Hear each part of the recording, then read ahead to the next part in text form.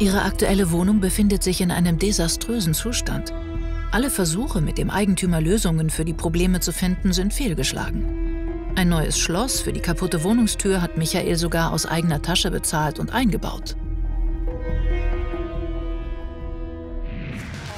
Ihr neuer Vermieter hingegen scheint ein echter Glücksgriff zu sein.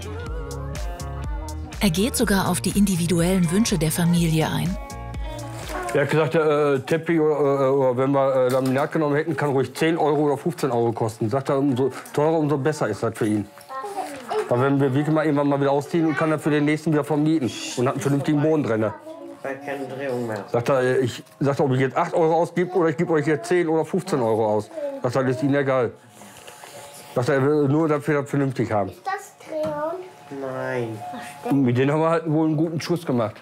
Mit dem Vermieter.